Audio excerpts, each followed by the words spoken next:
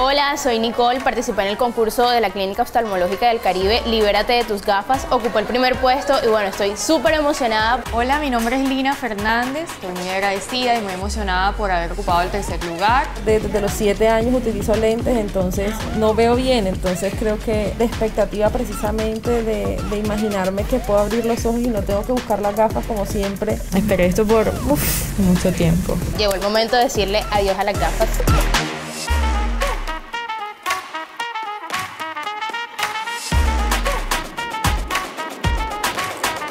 Puedo ver las letras que no vení- veía cuando venía entrando. Pude leer todo lo que decían los pasillos.